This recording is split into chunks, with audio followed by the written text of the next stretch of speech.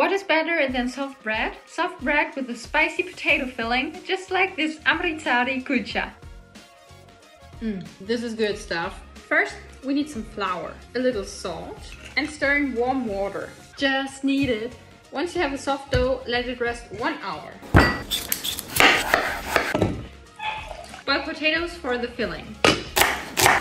The cooked aloo and mash it. Finely chopped onion, green chili and cilantro. A little bit of spice and lemon juice. Just give it a good mix and that's the filling. Add some filling to the center, fold up the edges like a pocket and flatten again.